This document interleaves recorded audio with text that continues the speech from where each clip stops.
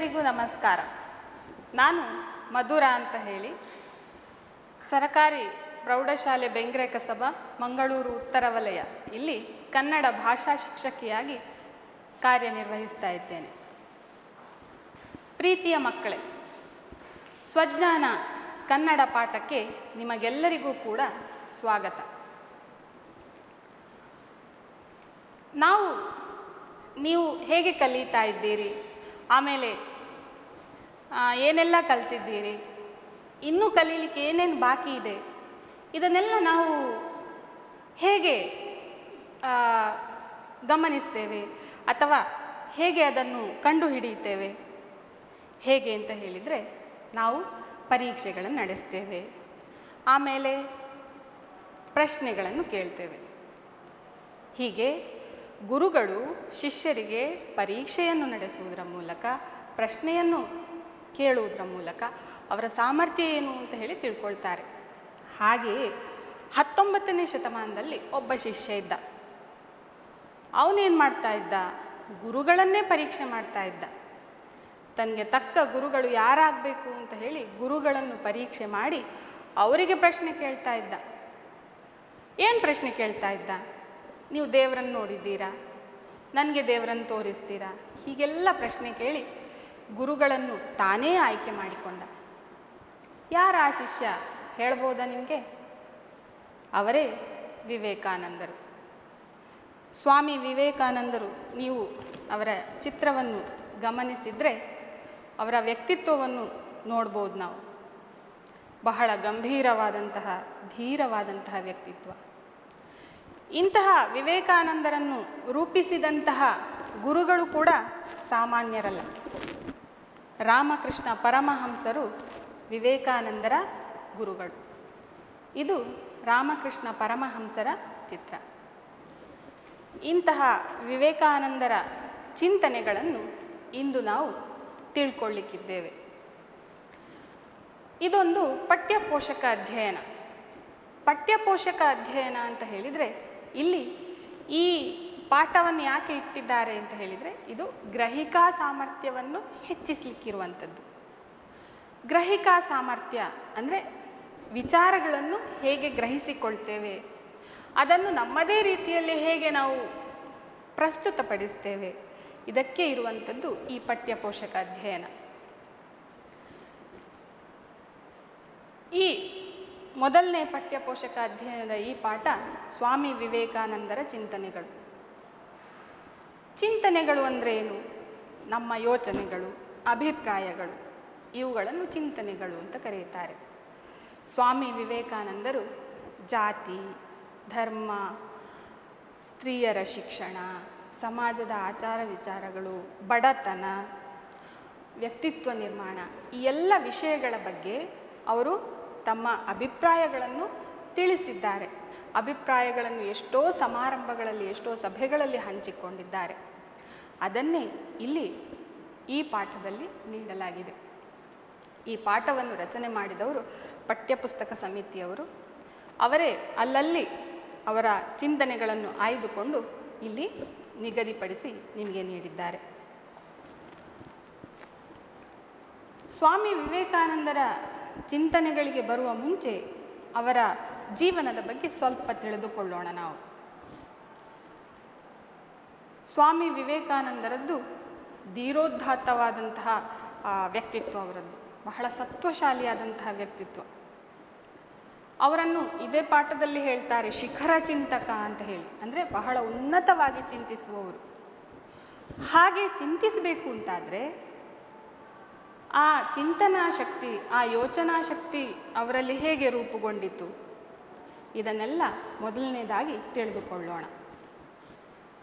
ಸ್ವಾಮಿ ವಿವೇಕಾನಂದರು ಸಾವಿರದ ಎಂಟುನೂರ ಅರವತ್ತ ಮೂರು ಜನವರಿ ಹನ್ನೆರಡರಂದು ಕೋಲ್ಕತ್ತಾದಲ್ಲಿ ಜನಿಸ್ತಾರೆ. ಅವರ ತಂದೆ ವಿಶ್ವನಾಥ ದತ್ತ ತಾಯಿ ಭುವನೇಶ್ವರಿ ದೇವಿ. ಅವರ ಬಾಲ್ಯದ ಹೆಸರು ನರೇಂದ್ರನಾಥ ದತ್ತ ಅಂತ ಹೇಳಿ ಆಗಿತ್ತು. ಅವರನ್ನೆಲ್ಲ ನರೇಂದ್ರ ಅಂತ ಹೇಳಿಯೇ ಬಾಲ್ಯದಲ್ಲಿ ಕರೆಯುತ್ತಾ ಇದ್ರು.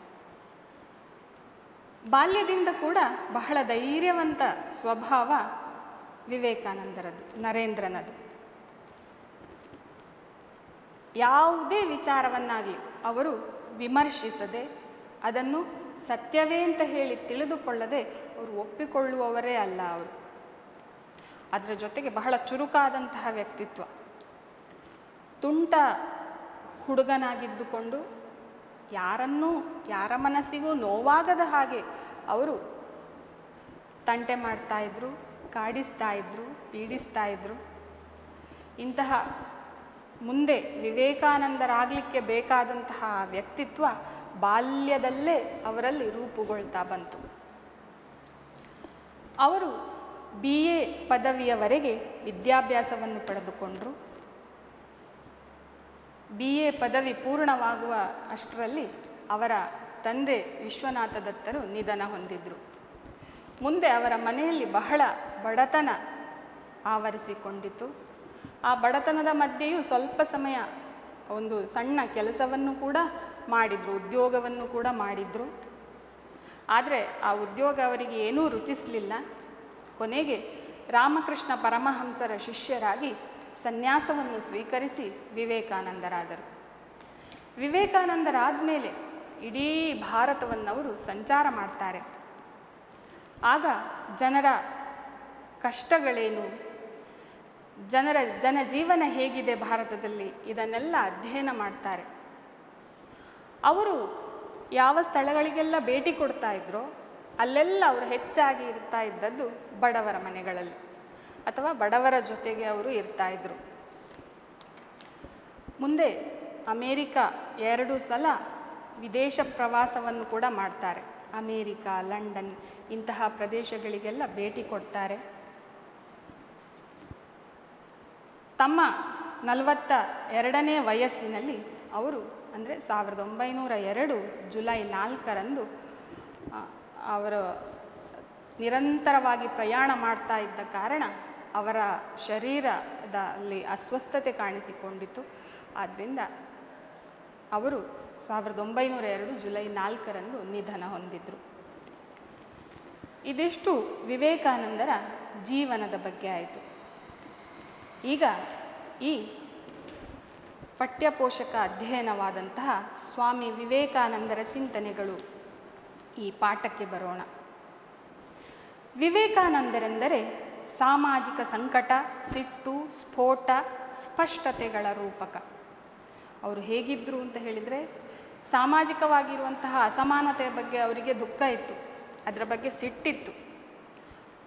ಆಮೇಲೆ ತಮ್ಮ ಚಿಂತನೆಗಳ ಬಗ್ಗೆ ಅವರು ಸ್ಪಷ್ಟವಾಗಿದ್ದರು ಅವರ ಆಲೋಚನೆಯಲ್ಲಿ ಗೊಂದಲಗಳಿಲ್ಲ. ಯಾವ ಗೊಂದಲಗಳು ಕೂಡ ಇರಲಿಲ್ಲ ಅವರಲ್ಲಿ. ತಾವು ಸ್ಪಷ್ಟವಾಗಿ ತಮಗೇನು ಅನ್ನಿಸಿತೋ ಅದನ್ನು ಅವರು ಹೇಳ್ತಾ ಇದ್ರು. ಕೆಲವೊಮ್ಮೆ ವೈರುಧ್ಯದಂತೆ ಕಂಡರೂ ಅದು ಸಾಂದರ್ಭಿಕ ಪ್ರತಿಕ್ರಿಯೆಗಳ ಫಲ. ಕೆಲವೊಮ್ಮೆ ಅವರ ಮಾತುಗಳು ವಿರುದ್ಧವಾಗಿ ಕಾಣಬಹುದು ನಮಗೆ. ಆದರೆ ಆ ಸಂದರ್ಭಕ್ಕೆ ಅವರು ಹೇಳಿದಂತಹ ಮಾತುಗಳು ಅದಾಗಿರ್ತದೆ. ಅವರ ಎಲ್ಲ ವಿಚಾರಗಳನ್ನು ಒಟ್ಟಿಗೆ ನೋಡಿದಾಗ ಸ್ಪಷ್ಟ ನೋಟ ಕಾಣಿಸುತ್ತದೆ. ಈಗ ಅವರ ಮೊದಲ ಆದ್ಯತೆ ಏನಾಗಿತ್ತು? ಸಮಾಜ ಅಂತ ಹೇಳಿದಾಗ ಅವರ ಮೊದಲ ಆದ್ಯತೆ ಏನು? ದೈಹಿಕ ಹಸಿವನ್ನು ಹಿಂಗಿಸುವುದು ಅವರ ಮೊದಲ ಆದ್ಯತೆ. ದೈಹಿಕ ಹಸಿವು ಅಂದರೆ ಹೊಟ್ಟೆಯ ಹಸಿವು. ಆ ಹೊಟ್ಟೆ ಹಸಿವನ್ನು ಅದನ್ನು ಹೇಗೆ ನೀಗಿಸಿಕೊಳ್ಳುವುದು, ಹಿಂಗಿಸುವುದು? ಉದ್ಯೋಗ ಮಾಡುವುದರ ಮೂಲಕ. ಹಣವನ್ನು ಸಂಪಾದಿಸುವುದರ ಮೂಲಕ. ಅದು ಪ್ರತಿಯೊಬ್ಬ ಮನುಷ್ಯನ ಮೊದಲ ಆದ್ಯತೆ ಆಗಿರಬೇಕು ಅಂತ ಹೇಳಿ ಅವರು ತಿಳ್ಕೊಂಡಿದ್ದರು ಆ ನಂತರ ಆತ್ಮದ ಹಸಿವು. ಆತ್ಮದ ಹಸಿವು.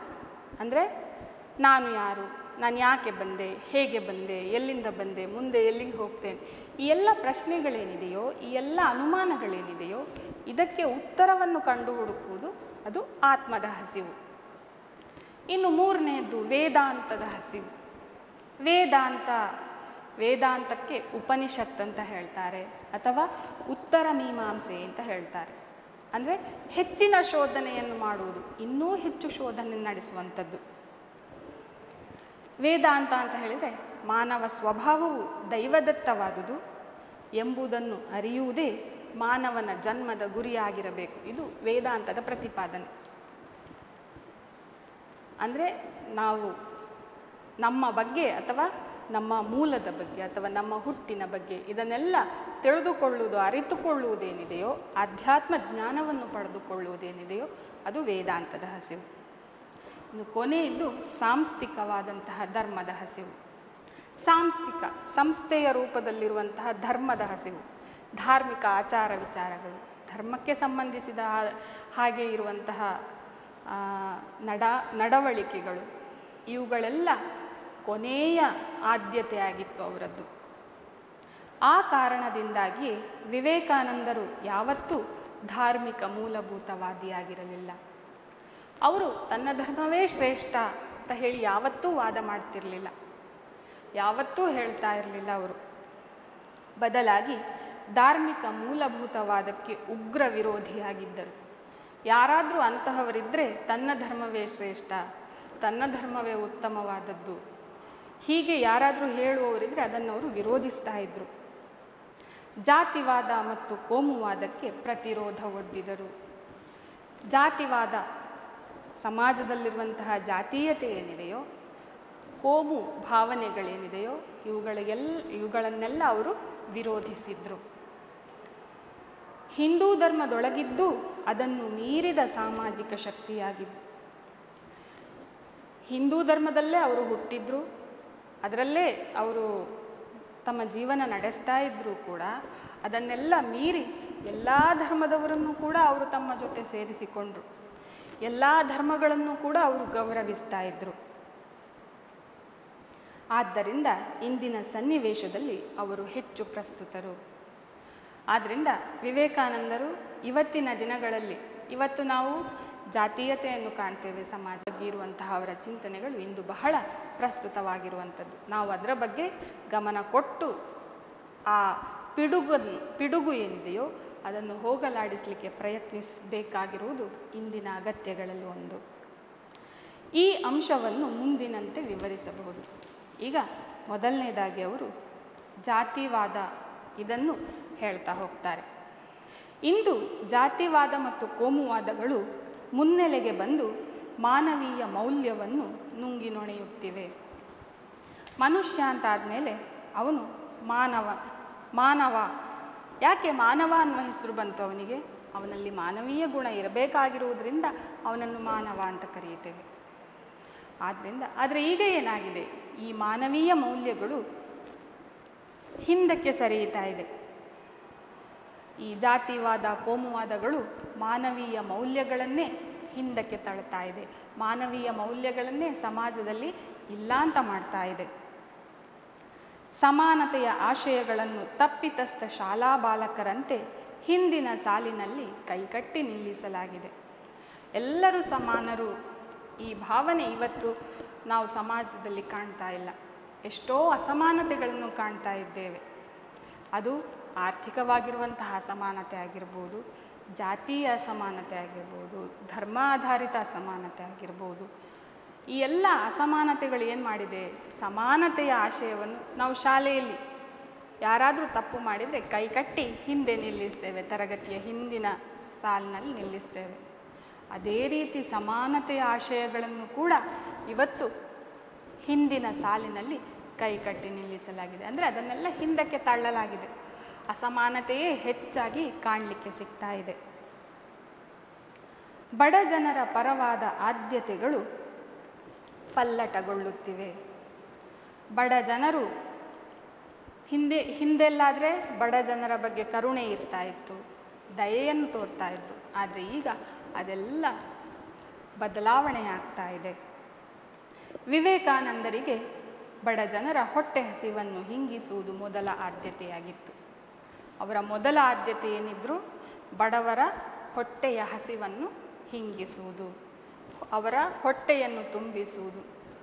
ಬಾಲ್ಯದಲ್ಲೇ ನಾವು ಗಮನಿಸಿದರೆ, ಅವರ ಜೀವನವನ್ನು ಗಮನಿಸಿದರೆ, ಬಾಲ್ಯದಲ್ಲಿ ಅವರ ಮನೆಗೆ ಯಾರೇ ಬೇಡಿಕೊಂಡು ಬಂದರೂ ಕೂಡ ಅವರಿಗೆ ತನ್ನ ಕೈಗೆ ಸಿಕ್ಕಿದ್ದನ್ನು ಕೊಟ್ಟು ಕಳಿಸ್ತಾ ಇದ್ರು ಅವರು. ಉದಾಹರಣೆಗೆ ಒಮ್ಮೆ ಒಬ್ಬ ಸಾಧು ಅವರ ಮನೆಗೆ ಬರ್ತಾನೆ, ಭಿಕ್ಷೆ ಬೇಡಿಕೊಂಡು. ತುಂಬ ಚಳಿಯಿಂದ ನಡುಕ್ತಾ ಇರ್ತಾನೆ. ಸರಿಯಾಗಿ ಹೊದಿಲಿಕ್ಕೆ ಅವನಿಗೆ ಏನೂ ಬಟ್ಟೆ ಇರುವುದಿಲ್ಲ. ಆಗ ವಿವೇಕಾನಂದರು ನರೇಂದ್ರನಾಗಿದ್ದಂತಹ ಏನು ಮಾಡ್ತಾರೆ? ತಮ್ಮ ಮನೆಯಲ್ಲಿ ಹೊಸದಾಗಿ ಆಗ ತಾನೇ ತಂದಿದ್ದಂತಹ ಒಂದು ಹೊಸ ಶಾಲನ್ನು ತಗೊಂಡೋಗಿ ಅವನಿಗೆ ಕೊಟ್ಟು ಬಿಡ್ತಾರೆ. ಅವನು ಸಂತೋಷದಿಂದ ಅದನ್ನು ಹೊದ್ದು ಹೊದ್ದುಕೊಂಡು ಹೋಗ್ತಾನೆ. ಅಂದರೆ ಆ ಬಡ ಜನರ ಬಗ್ಗೆ ವಿವೇಕಾನಂದರಿಗೆ ಬಹಳ ಕರುಣೆ ಇತ್ತು, ಬಹಳ ಅನುಕಂಪವಿತ್ತು. ಅನಂತರ ಧರ್ಮ, ಜಾತಿವಾದದ ವಿಷಯಕ್ಕೆ ಬಂದರೆ ಹಿಂದುಳಿದ ಹಾಗೂ ದಲಿತ ಜಾತಿಗಳ ಬಗ್ಗೆ ಅವರಿಗೆ ಸಹಜವಾದ ಸಾಮಾಜಿಕ ಕಳಕಳಿ ಇತ್ತು. ಸಮಾಜದಲ್ಲಿ ಇರುವಂತಹ ಹಿಂದುಳಿದ ವರ್ಗಗಳು, ಅದು ದಲಿತರಾಗಿರ್ಬೋದು ಅಥವಾ ಇತರ ಹಿಂದುಳಿದ ವರ್ಗದವರಾಗಿರ್ಬೋದು, ಅವರನ್ನು ಕಂಡ್ರೆ ಅವರಿಗೆ ಬಹಳ ಕಳಕಳಿ ಇತ್ತು, ಬಹಳ ಕರುಣೆ ಇತ್ತು, ದಯೆ ಇತ್ತು ಅವರ ಮೇಲೆ. ಹೀಗಾಗಿಯೇ ಅವರು ಸಂಶಯಕ್ಕೆ ಎಡೆ ಇಲ್ಲದಂತೆ ಜಾತಿ ಮತ್ತು ವರ್ಗ ವ್ಯವಸ್ಥೆಯನ್ನು ವಿರೋಧಿಸಿದರು. ಸಮಾಜದಲ್ಲಿರುವಂತಹ ಜಾತೀಯತೆ, ವರ್ಗ ವ್ಯವಸ್ಥೆ, ಅದನ್ನೆಲ್ಲ ಅವರು ವಿರೋಧಿಸ್ತಾರೆ. ಅವರೇನು ಹೇಳ್ತಾರೆ? ಜಾತಿಯ ಬಗ್ಗೆ ಏನು ಹೇಳ್ತಾರೆ? ಅವರ ಅಭಿಪ್ರಾಯ ಏನು? ಜಾತಿ ಎಂಬುದು ಸಮಾಜದ ಒಂದು ಆಂತರಿಕ ಭಾಗವಾಗಿದೆ. ಸಮಾಜದ ಒಳಗೇ ಇರುವಂತಹ ಒಂದು ಭಾಗ ಅದು. ಜಾತಿ ಅಂದರೆ ಏನು? ಧರ್ಮದ ಒಳಗೆ ಅನೇಕ ಪಂಗಡಗಳು, ಅದನ್ನು ಜಾತಿ ಅಂತ ಕರೆಯುತ್ತೇವೆ. ಒಂದು ಸಮಾಜ ಇದ್ದರೆ ಆ ಸಮಾಜದ ಒಳಗೆ ಇರುವಂತಹ ಆ ಜಾತಿ, ಅದು ಆಂತರಿಕ ಭಾಗ. ಹಿಂದೆ ಅದು ವಿಕಾಸವಾಗುತ್ತಿತ್ತು. ನಾವು ವೇದಗಳ ಕಾಲವನ್ನೆಲ್ಲ ತಗೊಂಡ್ರೆ ಆಗ ಜಾತಿ ಅನ್ನುವುದು ವಿಕಾಸವಾಗ್ತಾ ಇತ್ತು. ಅಲ್ಲಿ ಜಾತಿ ಅನ್ನುವುದು ಹುಟ್ಟಿನಿಂದ ಬರುವುದಲ್ಲ ಅದು. ಒಬ್ಬ ವ್ಯಕ್ತಿ ಯಾವ ಕೆಲಸದಲ್ಲಿ ನಿಪುಣನಾಗ್ತಾನೋ ಅದರ ಮೇಲೆ ಅವನಿಗೆ ಜಾತಿ, ಜಾತಿಯನ್ನು ಇಂತಹ ಜಾತಿ ಅಂತ ಹೇಳಿ ಹೇಳ್ತಾ ಇದ್ರು. ಆದರೆ ನಂತರ ಏನಾಯಿತು? ಅದು ಘನೀಭೂತವಾಗಿದೆ. ಅದು ಗಟ್ಟಿಯಾಗಿದೆ ಈಗ. ಹೇಗೆ ಗಟ್ಟಿಯಾಗಿದೆ? ಈಗ ಹುಟ್ಟಿನಿಂದಲೇ ಜಾತಿ ನಿರ್ಧಾರವಾಗ್ತದೆ. ಬ್ರಾಹ್ಮಣನ ಮಗ ಬ್ರಾಹ್ಮಣನೇ ಆಗಿರ್ತಾನೆ. ವೈಶ್ಯನ ಮಗ ವೈಶ್ಯನೇ ಆಗಿರ್ತಾನೆ. ಹೀಗೆ ಜಾತಿ ಹುಟ್ಟಿನಿಂದ ನಿರ್ಧಾರ ಆಗ್ತದೆ. ಅದರಿಂದಾಗಿ ಅದು ಗಟ್ಟಿಯಾಗಿದೆ ಈಗ. ಅದರ ದುರ್ಗಂಧದಿಂದ ಭಾರತದ ವಾತಾವರಣವೆಲ್ಲ ತುಂಬಿದೆ. ಇವತ್ತು ಸಮಾಜ ಅದು ಕೆಟ್ಟದಾಗಿ ಇದೆ ಅಂತ ಹೇಳಿದರೆ ಅದಕ್ಕೆ ಕಾರಣ ಈ ಜಾತೀಯತೆ. ಜಾತೀಯತೆ ಒಂದು ಇಲ್ಲದೇ ಇದ್ದರೆ ಸಮಾಜ ಅತ್ಯಂತ ಸುಂದರವಾಗಿರ್ತಾ ಇತ್ತು ಅಂತ ಹೇಳಿ ವಿವೇಕಾನಂದರು ಹೇಳ್ತಾರೆ. ಜಾತಿ ವ್ಯವಸ್ಥೆಯ ಕ್ರೌರ್ಯಕ್ಕೆ ತುತ್ತಾಗಿ ಶ್ರೂ, ಶೂದ್ರರು, ಅಸ್ಪೃಶ್ಯರು, ಸ್ವಾತಂತ್ರ್ಯಹೀನರಾಗಿ ಗುಲಾಮತನ ಅನುಭವಿಸುವುದನ್ನು ಟೀಕಿಸುವ ವಿವೇಕಾನಂದರು ಶೂದ್ರವರ್ಗ ತನ್ನ ಊಳಿಗೆ ಸ್ವಭಾವವನ್ನು ಬಿಟ್ಟು ಹೊರಬರಬೇಕೆಂದು ಕರೆ ಕೊಡುತ್ತಾರೆ. ಈ ಜಾತಿಯ ವ್ಯವಸ್ಥೆಯಲ್ಲಿ ಅತ್ಯಂತ ಕೆಟ್ಟದಾಗಿ ನಡೆಸಲ್ಪಡ್ತಾ ಇರುವವರು ಅದು ವಿವೇಕಾನಂದರ ಕಾಲದಲ್ಲಿ, ಹತ್ತೊಂಬತ್ತನೇ ಶತಮಾನದಲ್ಲಿ. ಅದು ಶೂದ್ರರು ಮತ್ತು ಅಸ್ಪೃಶ್ಯರು. ಅವರನ್ನು ಸಮಾಜ ಬಹಳ ಕೆಟ್ಟದಾಗಿ ನಡೆಸಿಕೊಳ್ತಾ ಇತ್ತು. ಅದನ್ನು ವಿವೇಕಾನಂದರು ಟೀಕಿಸಿದ್ರು ಅವರು. ಅದರ ಜೊತೆಗೆ ಶೂದ್ರ ವರ್ಗಕ್ಕೆ ಅಥವಾ ಶೂದ್ರರಿಗೆ ಅವರು ಕರೆ ಕೊಡ್ತಾರೆ, ಏನು ಕೊಡ್ತಾರೆ? ನೀವು ನಿಮ್ಮ ಊಳಿಗ ಸ್ವಭಾವ, ಈ ಸೇವೆ ಮಾಡುವಂತಹ ಕೆಲಸವನ್ನು ಬಿಟ್ಟು ಹೊರಗೆ ಬನ್ನಿ ನೀವು. ಬೇರೆ ಉದ್ಯೋಗಗಳನ್ನು ಕೂಡ ಮಾಡಿ ಅಂತ ಹೇಳಿ ಕರೆ ಕೊಡ್ತಾರವರು. ಮುಂದೊಮ್ಮೆ ಶೂದ್ರರು ತಮ್ಮ ಶೂದ್ರತ್ವದ ಶಕ್ತಿಯಿಂದಲೇ ಮೇಲೇಳುವ ಕಾಲ ಬರುತ್ತದೆ ಎಂದು ಭಾವಿಸುತ್ತಾರೆ. ಮುಂದೆ ಒಂದು ದಿವಸ ಶೂದ್ರರು ತಮ್ಮ ಶೂದ್ರತ್ವದ ಶಕ್ತಿ, ಆ ಶಕ್ತಿ ಏನಿದೆಯೋ ಅಥವಾ ತಾವು ಅನುಭವಿಸಿದಂತಹ ನೋವೇನಿದೆಯೋ, ಕಷ್ಟಗಳೇನಿದೆಯೋ ಅದರಿಂದಲೇ ಮೇಲೆ ಬರ್ತಾರೆ ಅಂತ ಹೇಳಿ ಅವರು ಭಾವಿಸಿದರು. ನಿಜವಾಗಲೂ ನಾವು ಗಮನಿಸಿದರೆ ಮುಂದೆ ಅಂಬೇಡ್ಕರ್ರಂತಹ ಮಹನೀಯರು ಅದೇ ಸಮಾಜದಿಂದ ಮೇಲೆ ಬಂದರು. ನಾವು ಕನ್ನಡ ವಾಹಿನಿಯೊಂದರಲ್ಲಿ ಬರುವಂತಹ ಮಹಾನಾಯಕ ಧಾರಾವಾಹಿಯಲ್ಲಿ ಗಮನಿಸ್ಬೋದು ಬಾಲ್ಯದಿಂದಲೇ ಎಷ್ಟೊಂದು ಕಷ್ಟಗಳನ್ನು, ಎಷ್ಟೊಂದು ಅವಮಾನಗಳನ್ನು ಸಹಿಸಿಕೊಂಡು ಹೇಗೆ ಬೆಳೆದ್ರು ಅಂಬೇಡ್ಕರ್ರಂತಹ ಸಂವಿಧಾನ ರಚನೆಯಂತಹ ಮಹಾನ್ ಕಾರ್ಯದಲ್ಲಿ ಹೇಗೆ ಅವರು ತಮ್ಮನ್ನು ತೊಡಗಿಸಿಕೊಂಡ್ರು, ಇದನ್ನೆಲ್ಲ ನಾವು ಉದಾಹರಣೆಯಾಗಿ ಅಂಬೇಡ್ಕರ್ ಅವರ ಜೀವನವನ್ನು ತಗೊಳ್ಬೋದು ವಿಶೇಷವೆಂದರೆ ಮುಂದೆ ಬರುವುದು ಸಮತಾವಾದ, ಅರಾಜಕವಾದ, ಶೂನ್ಯವಾದ. ಮುಂದೆ ಯಾವುದು ಬರ್ತದೆ? ಸಮತಾವಾದ. ಸಮತಾವಾದ ಅಂತ ಹೇಳಿದರೆ ಯುರೋಪ್ನಲ್ಲಿ ಕಾಲ್ ಮಾರ್ಕ್ಸ್ ಅನ್ನುವಂತಹ ಒಬ್ಬ ವಿದ್ವಾಂಸ ಅವನು ಕಮ್ಯುನಿಸ್ಟ್ ತತ್ವಗಳನ್ನು ಪ್ರಚಾರ ಮಾಡ್ತಾನೆ. ಆ ಕಮ್ಯುನಿಸ್ಟ್ ತತ್ವ ಏನಿದೆಯೋ ಅದು ಸಮತಾವಾದ. ಅಲ್ಲಿ ಎಲ್ಲರೂ ಸಮಾನರು. ಯಾವುದೇ ಒಂದು ವಸ್ತು ಇದ್ದರೂ ಕೂಡ ಅಥವಾ ಯಾವುದೇ ಒಂದು ಸಂಪತ್ತಿದ್ದರೆ ಆ ಸಂಪತ್ತು ಎಲ್ಲರಿಗೆ ಹಂಚಿಕೆಯಾಗಬೇಕು ಅನ್ನುವುದು ಸಮತಾವಾದದ ತತ್ವ ಅದು. ಹೀಗೆ ಮುಂದೆ ಸಮತಾವಾದ ಬರ್ತದೆ. ಅರಾಜಕವಾದ ಅರಾಜಕವಾದ ಅಂತ ಹೇಳಿದರೆ ಅಧಿಕಾರ ಇಲ್ಲದೇ ಇರುವಂತಹ, ಅಧಿಕಾರ ರಹಿತವಾಗಿರುವಂತಹ ಸಮಾಜ. ಅದು ಅರಾಜಕವಾದ. ಮಾನವರ ನಡುವಿನ ಒಬ್ಬರ ಮೇಲೊಬ್ಬರು ಅಧಿಕಾರ ಸಾಧಿಸುವಂತಹ ಸಂಬಂಧವನ್ನು ಈ ಅರಾಜಕವಾದ ಕಡಿಮೆ ಮಾಡ್ತದೆ. ಇನ್ನೊಂದು ಶೂನ್ಯವಾದ. ಶೂನ್ಯವಾದ ಅಂತ ಹೇಳಿದರೆ ಏನೂ ಇಲ್ಲದೆ ಇರುವಂತಹ ಸ್ಥಿತಿ ಅಲ್ಲ. ಶೂನ್ಯವಾದ ಅನ್ನುವುದು ಅಧ್ಯಾತ್ಮದ ಇದರಲ್ಲಿ ಬರ್ತದೆ. ವಿಚಾರಗಳಲ್ಲಿ ವಿಚಾರಗಳು ಬಂದಾಗ ಈ ಶೂನ್ಯವಾದ ಅನ್ನೋದು ಬರ್ತದೆ. ಶೂನ್ಯವಾದದಲ್ಲಿ ಒಂದು ಹಂತ ತಲುಪಿದ ಮೇಲೆ ಅಲ್ಲಿ ಎಲ್ಲರೂ ಸಮಾನರು. ಈ ಋಷಿ ಮುನಿಗಳೆಲ್ಲ ಅವರೆಲ್ಲ ಧ್ಯಾನದ ಮೂಲಕ ಏನೋ ಯಾವುದೋ ಒಂದು ಆ ಧ್ಯಾನದ ಸಮಾಧಿಯೋ ಅಥವಾ ಆ ಹಂತವನ್ನು ತಲುಪಿದ ನಂತರ ಅವರೆಲ್ಲರೂ ಕೂಡ ಸಮಾನರು. ಅಲ್ಲಿ ಮೇಲು, ಕೀಳು ಅನ್ನುವಂತಹ ಯಾವುದೇ ಭಾವನೆ ಇಲ್ಲ. ಇಲ್ಲಿ ಮುಖ್ಯವಾಗಿ ಶೂನ್ಯವಾದ ಅಂತ ಹೇಳಿದರೆ ಸಮಾನತೆಯನ್ನು ಆ ಶೂನ್ಯವಾದವು ಸಮಾನತೆಯನ್ನೇ ಹೇಳ್ತದೆ ಅದು. ಹೀಗೆ ಸಮತಾವಾದ, ಅರಾಜಕವಾದ, ಶೂನ್ಯವಾದ ಅಂದರೆ ಇಲ್ಲಿ ಸಮಾನತೆಯನ್ನು ನಾವು ಸಮಾಜದಲ್ಲಿ ಕಾಣ್ತೇವೆ. ಸಮಾಜ ಕ್ರಾಂತಿಯ ಅರುಣೋದಯ.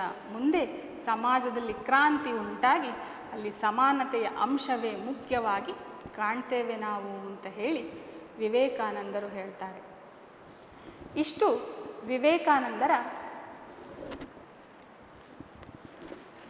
ಚಿಂತನೆಗಳು ಯಾವುದರ ಬಗ್ಗೆ? ಜಾತಿವಾದದ ಬಗ್ಗೆ ಇವೆಲ್ಲ ವಿವೇಕಾನಂದರ ಚಿಂತನೆಗಳು. ಈಗ ನಾವು ಒಂದಷ್ಟು ಜಾತಿವಾದದ ಬಗ್ಗೆ ವಿವೇಕಾನಂದರು ಏನೆಲ್ಲ ಯೋಚನೆ ಮಾಡಿದ್ರು ಅನ್ನೋದನ್ನು ತಿಳ್ಕೊಂಡೆವು.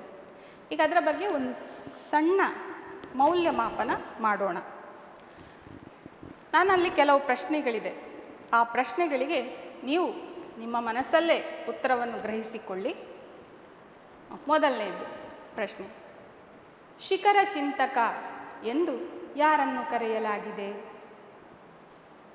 ಯಾರನ್ನು ಕರೆಯಲಾಗಿದೆ ಶಿಖರ ಚಿಂತಕ ಅಂತ ಹೇಳಿ?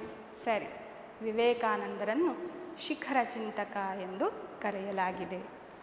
ಇನ್ನು ಎರಡನೇದು, ಸಾಮಾಜಿಕ ಸಂಕಟ, ಸಿಟ್ಟು, ಸ್ಫೋಟ, ಸ್ಪಷ್ಟತೆಗಳ ರೂಪಕ ಯಾರು?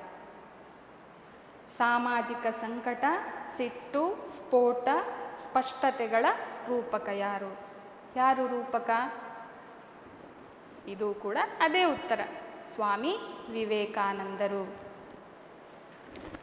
ಇನ್ನು ಮೂರನೇ ಪ್ರಶ್ನೆ. ಸ್ವಾಮಿ ವಿವೇಕಾನಂದರಿಗೆ ಯಾವುದು ಮೊದಲ ಆದ್ಯತೆಯಾಗಿತ್ತು? ಸ್ವಾಮಿ ವಿವೇಕಾನಂದರಿಗೆ ಯಾವುದು ಮೊದಲ ಆದ್ಯತೆಯಾಗಿತ್ತು? ಬಡ ಜನರ ಹೊಟ್ಟೆ ಹಸಿವನ್ನು ಹಿಂಗಿಸುವುದು ಅವರ ಮೊದಲ ಆದ್ಯತೆಯಾಗಿತ್ತು. ಯಾವುದು? ಬಡ ಜನರ ಹೊಟ್ಟೆ ಹಸಿವನ್ನು ಹಿಂಗಿಸೋದು. ಇನ್ನು ನಾಲ್ಕನೇದ್ದು. ಮಾನವೀಯ ಮೌಲ್ಯಗಳನ್ನು ನುಂಗಿ ನೊಣೆಯುತ್ತಿರುವ ಅಂಶಗಳು ಯಾವುವು? ಇನ್ನೊಮ್ಮೆ ಸರಿಯಾಗಿ ಯೋಚನೆ ಮಾಡಿ, ಗಮನವಿಟ್ಟು ಕೇಳಿ. ಮಾನವೀಯ ಮೌಲ್ಯಗಳನ್ನು ನುಂಗಿ ನೊಣೆಯುತ್ತಿರುವ ಅಂಶಗಳು ಯಾವುವು? ಯಾವುವ ಅಂಶಗಳು? ಜಾತಿವಾದ ಮತ್ತು ಕೋಮುವಾದ. ಜಾತಿವಾದ ಮತ್ತು ಕೋಮುವಾದ. ನೆಕ್ಸ್ಟ್ ಇನ್ನೊಂದು ಪ್ರಶ್ನೆ.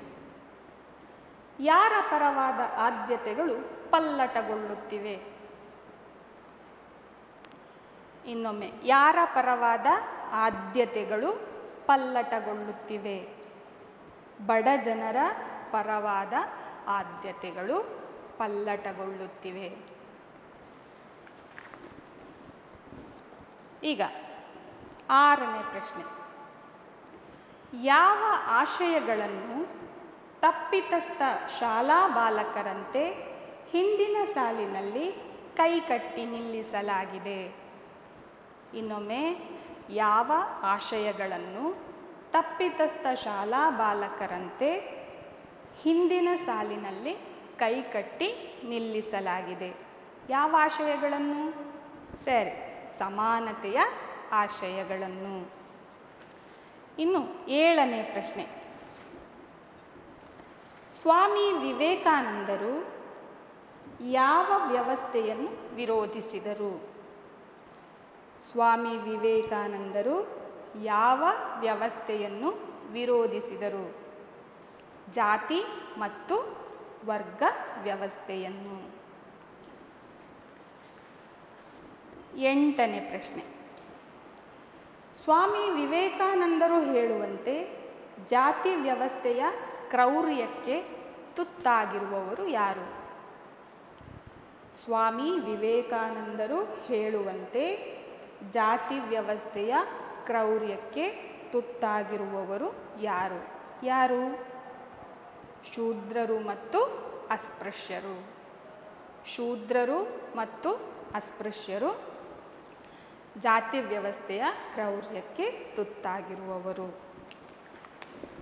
ಇನ್ನು ಕೊನೆಯ ಪ್ರಶ್ನೆ. ಶೂದ್ರರು ಯಾವ ಶಕ್ತಿಯಿಂದ ಮೇಲೇಳುವ ಕಾಲ ಬರುತ್ತದೆ ಎಂದು ವಿವೇಕಾನಂದರು ಹೇಳುತ್ತಾರೆ. ಶೂದ್ರರು ಯಾವ ಶಕ್ತಿಯಿಂದ ಮೇಲೇಳುವ ಕಾಲ ಬರುತ್ತದೆ ಎಂದು ವಿವೇಕಾನಂದರು ಹೇಳುತ್ತಾರೆ. ಯಾವ ಶಕ್ತಿಯಿಂದ? ತಮ್ಮ ಶೂದ್ರತ್ವದ ಶಕ್ತಿಯಿಂದ. ತಮ್ಮ ಶೂದ್ರತ್ವದ ಶಕ್ತಿಯಿಂದಲೇ ಅವರು ಮೇಲೇಳುವಂತಹ ಕಾರ್ಯ ಕಾಲ ಬರ್ತದೆ. ಹೀಗೆ ನೀವು ಇದೆಲ್ಲ ಒಂದು ವಾಕ್ಯದಲ್ಲಿ ಉತ್ತರಿಸುವಂತಹ ಪ್ರಶ್ನೆಗಳು, ಇಂತಹ ಪ್ರಶ್ನೆಗಳನ್ನು ನೀವು ಪಟ್ಟಿ ಮಾಡ್ತಾ ಹೋಗ್ಬೋದು. ಇನ್ನು ಮನೆ ಕೆಲಸ ಅಥವಾ ಗೃಹ ಕಾರ್ಯ. ನೀವು ಈ ಪ್ರಶ್ನೆಗಳನ್ನು ಬರೆದುಕೊಳ್ಳಿ, ಬರೆದುಕೊಂಡು ನಂತರ ಉತ್ತರ ಬರೆದಿಡಿ. ಯಾಕೆ ಅಂತ ಹೇಳಿದರೆ ಇವೆಲ್ಲ ಪರೀಕ್ಷೆಗೆ ಬರುವಂತಹ ಪ್ರಶ್ನೆಗಳೇ. ಇದರಲ್ಲಿ ಹೆಚ್ಚಾಗಿ ಎರಡೂ ಅಂಕದ ಪ್ರಶ್ನೆಗಳು ಹೆಚ್ಚಾಗಿ ಬರ್ತದೆ. ಆದ್ದರಿಂದ ಗಮನಿಸಿ ಇದನ್ನು. ಜಾತಿ ವ್ಯವಸ್ಥೆಯ ಬಗ್ಗೆ ವಿವೇಕಾನಂದರ ಅಭಿಪ್ರಾಯವೇನು? ಅಲ್ಲಿ ನಿಮ್ಮ ಅಭ್ಯಾಸದಲ್ಲಿ ಕೂಡ ಇದೆ ಆ ಪ್ರಶ್ನೆ. ಜಾತಿ ವ್ಯವಸ್ಥೆಯ ಬಗ್ಗೆ ವಿವೇಕಾನಂದರ ಅಭಿಪ್ರಾಯವೇನು? ಇನ್ನು ಆಯ್ತಲ್ಲ ಬರ್ಕೊಂಡು? ಎರಡನೇ ಪ್ರಶ್ನೆ. ವಿವೇಕಾನಂದರು ಯಾವತ್ತೂ ಧಾರ್ಮಿಕ ಮೂಲಭೂತವಾಗಿರಲಿಲ್ಲ.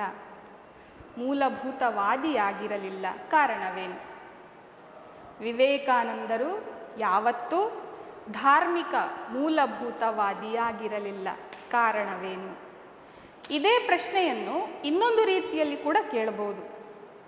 ವಿವೇಕಾನಂದರು ಧಾರ್ಮಿಕ ಮೂಲಭೂತವಾದಕ್ಕೆ ಉಗ್ರ ವಿರೋಧಿಯಾಗಿದ್ದರು ಏಕೆ? ವಿವೇಕಾನಂದರು ಧಾರ್ಮಿಕ ಮೂಲಭೂತವಾದಕ್ಕೆ ಉಗ್ರ ವಿರೋಧಿಯಾಗಿದ್ದರು ಏಕೆ? ಹೀಗೂ ಕೂಡ ಆ ಪ್ರಶ್ನೆಯನ್ನು ಕೇಳಲಿಕ್ಕೆ ಅವಕಾಶ ಇದೆ. ಇನ್ನು ಮೂರನೆಯದು ವಿವೇಕಾನಂದರು ಶೂದ್ರರ ಬಗ್ಗೆ ಏನು ಹೇಳುತ್ತಾರೆ? ಮೂರನೇ ಪ್ರಶ್ನೆ, ವಿವೇಕಾನಂದರು ಶೂದ್ರರ ಬಗ್ಗೆ ಏನು ಹೇಳುತ್ತಾರೆ? ಇಷ್ಟೂ ಪ್ರಶ್ನೆಗಳಿಗೆ ಕೂಡ ನೀವು ನಿಮ್ಮ ನೋಟ್ ಪುಸ್ತಕದಲ್ಲಿ ಉತ್ತರ ಬರೆದು ಇಟ್ಟುಕೊಳ್ಳಿ. ಪರೀಕ್ಷೆ ಬಂದಾಗ ಖಂಡಿತವಾಗಿಯೂ ಈ ಈ ಪ್ರಶ್ನೆಗಳಲ್ಲಿ ಯಾವುದಾದ್ರೂ ಒಂದು ಪ್ರಶ್ನೆ ಖಂಡಿತವಾಗಿಯೂ ಬಂದೇ ಬರ್ತದೆ ಪರೀಕ್ಷೆಯಲ್ಲಿ. ಈ, ಇದಕ್ಕೆ ಉತ್ತರ ಬರೆಯುವಾಗ ಕೂಡ ನಿಮ್ಮದೇ ವಾಕ್ಯದಲ್ಲಿ ಈ ವಿಚಾರಗಳನ್ನು ಅರ್ಥ ಮಾಡಿಕೊಂಡು ಬರೆಯುತ್ತಾ ಹೋಗಿ. ಇನ್ನು ಉಳಿದ ಅಂಶಗಳನ್ನು ಮುಂದಿನ ತರಗತಿಯಲ್ಲಿ ನೋಡೋಣ. ವಂದನೆಗಳು.